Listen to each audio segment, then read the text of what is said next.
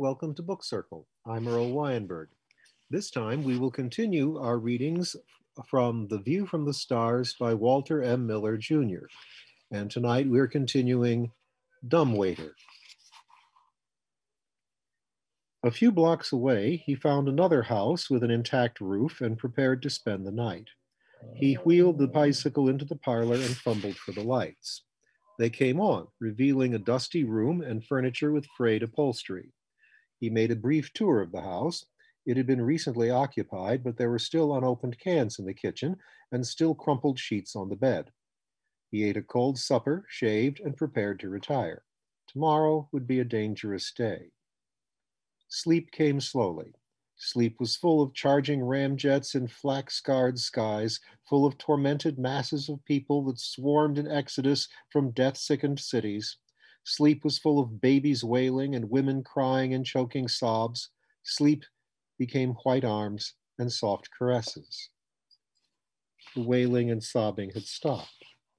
It was later. Was he awake or still asleep? He was warm, basking in a golden glow, steeped in quiet pleasure. Something, something was there, something that breathed. What? Shh, purred a quiet voice. Don't say anything. Some of the warmth fled before a sudden shiver. He opened his eyes. The room was full of blackness. He shook his head dizzily and stuttered. Shh, she whispered again.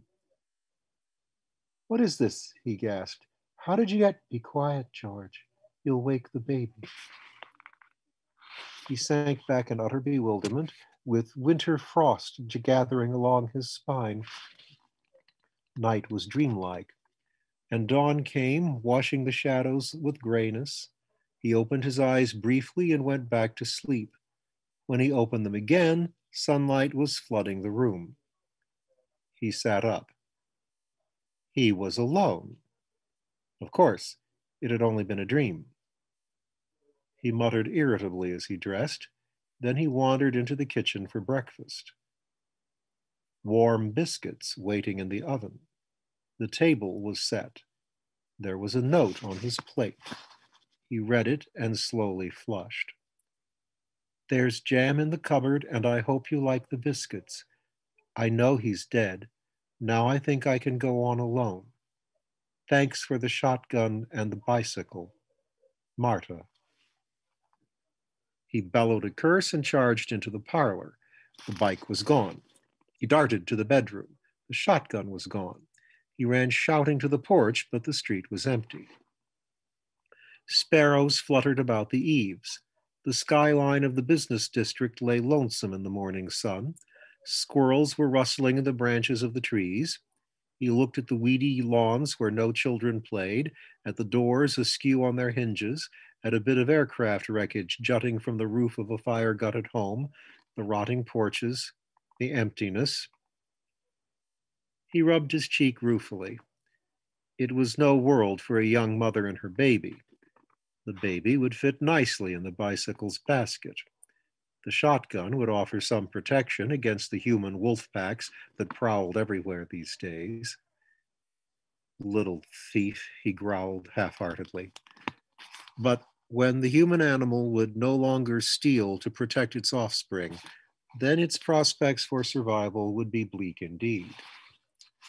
He shrugged gloomily and wandered back to the kitchen. He sat down and ate the expensive biscuits and decided that George couldn't have cut his throat for culinary reasons. Marta was a good cook. He entered the city on foot and unarmed later in the morning. He chose the alleyways, avoiding the thoroughfares where traffic purred and where the robot cops enforced the letter of the law. At each corner, he paused to glance in both directions against possible mechanical observers before darting across the open street to the next alley. The Geigers on the lampposts were clicking faster as he progressed deeper into the city, and twice he paused to inspect the readings of their integrating dials. The radioactivity was not yet dangerous, but it was higher than he had anticipated. Perhaps it had been dusted again after the exodus. He stopped to prowl through an empty house and an empty garage. He came out with a flashlight, a box of tools, and a crowbar. He had no certain plan, but tools would be needed if he meant to call a temporary halt to Central's activities. It was dangerous to enter any building, however. Central would call it burglary unless the prowler could show legitimate reason for entering.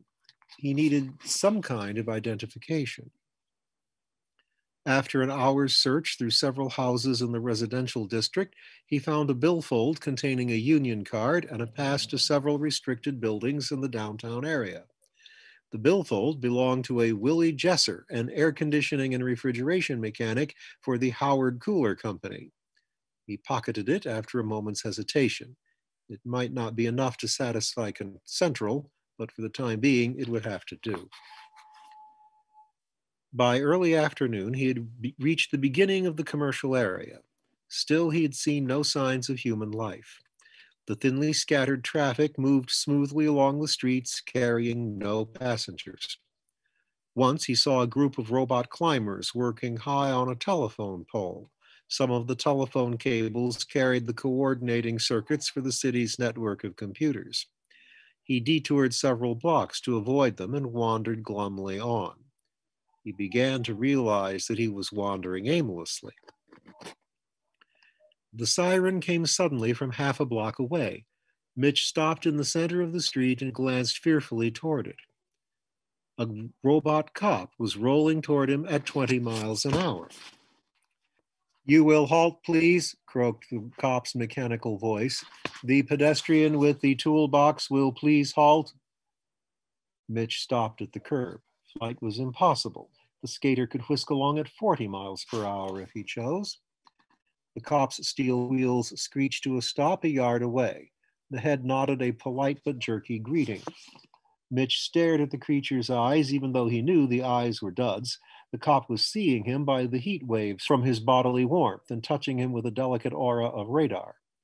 You are charged with jaywalking, sir. I must present you with a summons. Your identification, please. Mitch nervously produced the billfold and extracted the cards. The cop accepted them in a pair of tweezer like fingers and instantly memorized the information. This is insufficient identification. Have you nothing else? That's all I have with me. What's wrong with it? The pass and the union card expired in 1987. Mitch swallowed hard and said nothing. He had been afraid of this. Now he might be picked up for vagrancy. I shall consult Central Coordinator for instructions, croaked the cop. One moment, please. A dynamotor purred softly in the policeman's cylindrical body. Then Mitch heard the faint twittering of computer code as the cop's radio spoke to Central. There was a silence lasting several seconds, then an answering twitter back.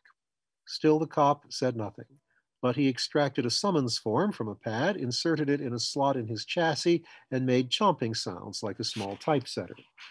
When he pulled the ticket out again, it was neatly printed with a summons for Willie Jesser to appear before traffic court on July 29, 1989.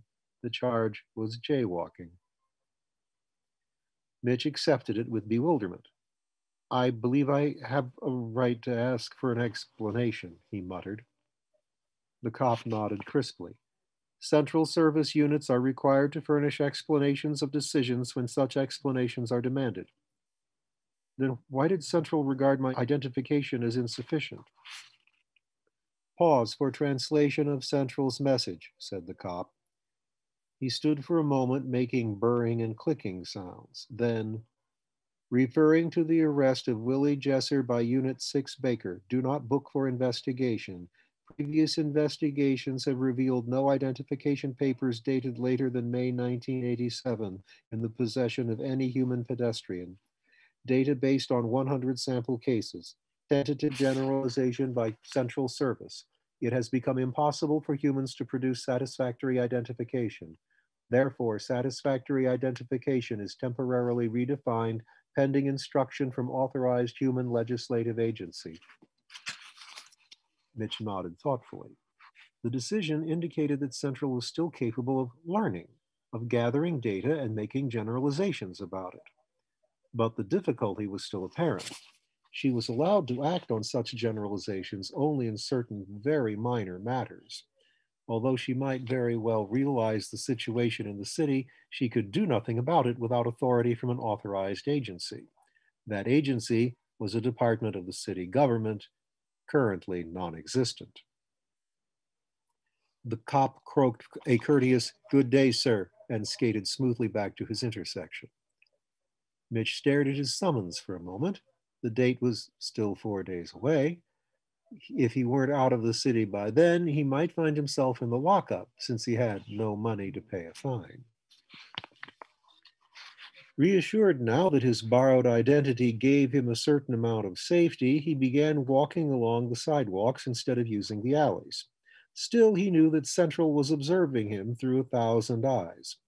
Counters on every corner were set to record the passage of pedestrian traffic and to relay the information to Central, thus helping to avoid congestion. But Mitch was the pedestrian traffic, and the counters clocked his passage. Since the data was, was available to the logic units, Central might make some unpleasant deductions about his presence in the city. Brazenness, he decided, was probably the safest course to steer. He stopped at the next intersection and called to another mechanical cop, requesting directions to City Hall. But the cop paused before answering, paused to speak with Central, and Mitch suddenly regretted his question. The cop came skating slowly to the curb.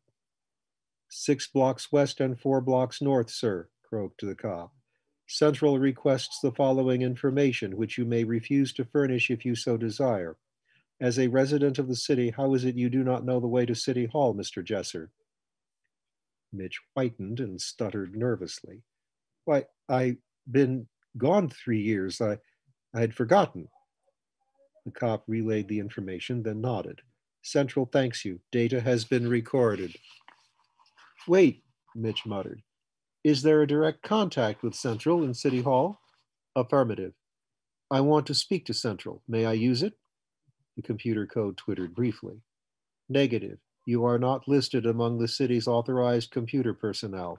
Central suggests you use the public information unit also in City Hall, ground floor rotunda.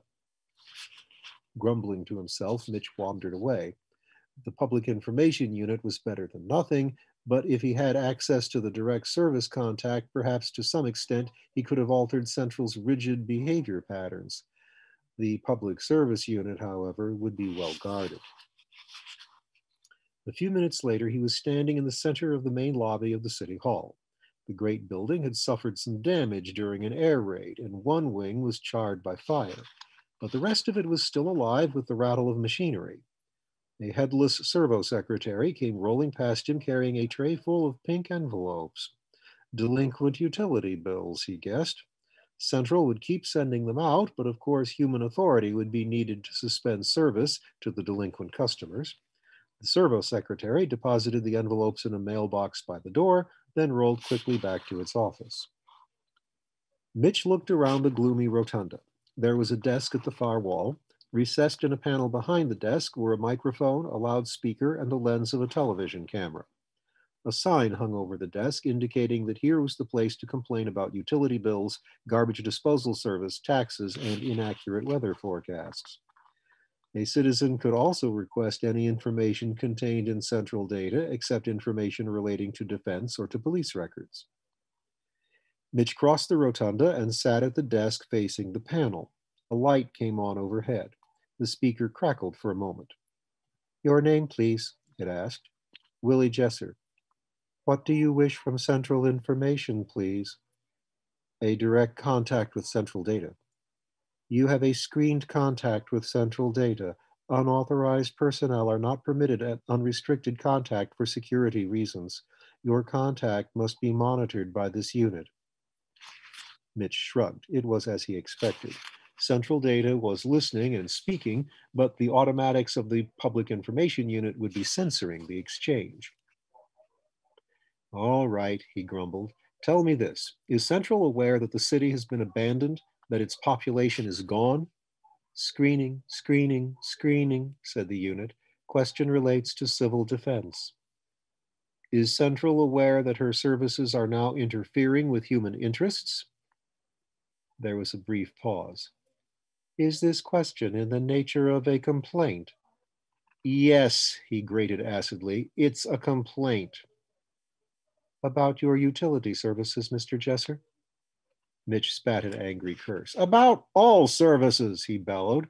Central has got to suspend all operations until new ordinances are fed into data. That will be impossible, sir. Why? There is no authorization from Department of City Services. He slapped the desk and groaned. There is no such department now. There is no city government. The city is abandoned. The speaker was silent. Well, he snapped. Screening, said the machine. Listen, he hissed, are you screening what I say or are you just blocking the central's reply? There was a pause. Your statements are being recorded in central data. Replies to certain questions must be blocked for security reasons. The war is over. Screening. You're trying to maintain a civil status quo that went out of existence three years ago. Can't you use your logic units to correct for present conditions? The degree of self-adjustment permitted to central service is limited by ordinance number, never mind. Is there anything else? Yes. What will you do when 50 men come marching in to dynamite the vaults and destroy central data? Destroying city property is punishable by a fine of Mitch cursed softly and listened to the voice reading the applicable ordinance. Well, they're planning to do it anyway, he snapped. Conspiracy to destroy city property is punishable by. Mitch stood up and walked away in disgust. But he had taken perhaps 10 steps when a pair of robot guards came skating out from their wall niches to intercept him. One moment, sir, they croaked in unison. Well, Central wishes to question you in connection with the alleged conspiracy to destroy city property. You are free to refuse. However, if you refuse, and if such conspiracy is shown to exist, you may be charged with complicity. Will you accompany us to interrogation? A step closer to jail, he thought gloomily. But what was there to lose? He grunted assent and accompanied the skaters out the entrance down an inclined ramp and past a group of heavily barred windows. They entered the police court where a booking computer clicked behind its desk. Several servo secretaries and robot cops were waiting quietly for task assignments. Mitch stopped suddenly. His escorts waited politely. Will you come with us, please? He stood staring around the big room at the various doorways, one leading to traffic court and at the iron gate to the cell block. I hear a woman crying, he muttered. The guards offered no comment. Is someone locked in a cell? We are not permitted to answer. Suppose I want to go bail, he snapped. I have a right to know. You may ask the booking desk whether a specific individual is being held, but generalized information cannot be released. Mitch strode to the booking computer. Are you holding a woman in jail? Screening? It was only a vague suspicion, but he said, a woman named Marta? Full name, please. I don't know it. Can't you tell me? Screening. Listen, I loaned my bicycle to a woman named Marta. If you have the bicycle, I want it. License number, please. A 1987 license, number 6 Zebra 50. Check with Lost and Found, please. Mitch controlled himself slowly. Look, you check. I'll wait. The computer paused. A bicycle with that license number has been impounded. Can you produce proof of ownership? On a bicycle?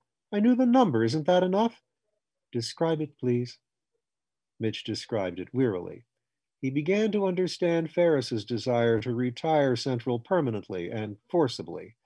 At the moment, he longed to convert several subcomputers to scrap metal. Then, said the speaker, if vehicle is yours, you may have it by applying for a new license and paying the required fee. Refer that to central data, Mitch groaned. The booking computer paused to confer with the coordinator. Decision stands, sir. But there aren't any new licenses, he growled. A while ago, Central said, Oh, never mind. That decision applied to identification, sir. This applies to licensing of vehicles. Insufficient data has been gathered to permit generalization. Sure, sure, all right. What do I do to get the girl out of jail? There was another conference with the coordinator. Then, she is being held for investigation. She may not be released for 72 hours. Mitch dropped the toolbox that he had been carrying since that morning. With a savage curse, he rammed the crowbar through a vent in the device's front panel and slashed it about in the opening. There was a crash of shattering glass and a shower of sparks. Mitch yelped at the electric jolt and lurched away. Steel fingers clutched his wrists.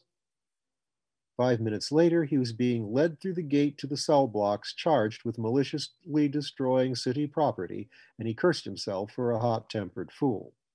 They would hold him until a grand jury convened, which would probably be forever. The girl's sobbing grew louder as he was led along the iron corridor toward the cell. He passed three cells and glanced inside. The cells were occupied by dead men's bones. Why? The rear wall was badly cracked and bits of loose masonry were scattered on the floor. Had they died of concussion during an attack or been gassed to death? They led him to the fifth cell and unlocked the door. Mitch stared inside and grinned. The rear wall had been partially wrecked by a bomb blast and there was room to crawl through the opening to the street. The partition that separated the adjoining cell was also damaged, and he caught a glimpse of a white, frightened face peering through the hole. Marta. He glanced at his captors. They were pushing him gently through the door. Evidently, Central's talents did not extend to bricklaying, and she could not judge that the cell was less than escape proof. The door clanged shut behind him. Marta, he called. Her face had disappeared from the opening. There was no answer. Marta! Let me alone, grumbled a muffled voice. I'm not angry about the bicycle. He walked to the hole and peered through the partition into the next cell. She crouched in a corner, peering at him with frightened, tear reddened eyes. He glanced at the opening in the rear wall. Why haven't you gone outside? he asked. She giggled hysterically. Why don't you go look down? He stepped to the opening and glanced 20 feet down to a concrete sidewalk. He went back to stare at the girl. Where's your baby? They took him away, she whimpered. Mitch frowned and thought about it for a moment. To the city nursery, probably, while you're in jail. They won't take care of him. They'll let him die. Don't scream like that. He'll be all right. Robots don't give milk. No, but there are such things as bottles, you know, he chuckled. Are there? Her eyes were wide with horror. And what will they put in the bottles? Why, he paused. Central certainly wasn't running any dairy farms. Wait till they bring you a meal, she said. You'll see. Meal? Empty tray, she hissed. Empty tray, empty paper cup, paper fork, clean paper napkin, no food. Mitch swallowed hard. Central's logic was sometimes hard to see. The servo attendants probably went through the motions of ladling stew from an empty pot and drawing coffee from an empty urn. Of course, there weren't any truck farmers to keep the city supplied with produce. So that's why the bones in the other cells, he muttered. They'll starve us to death. Don't scream so. We'll get out. All we need is something to climb down on. There isn't any bedding. There's our clothing. We can plait a rope, and if necessary, we can risk a jump. She shook her head dully and stared at her hands. It's no use. They'll catch us again. Mitch sat down to think. There was bound to be a police arsenal somewhere in the building, probably in the basement.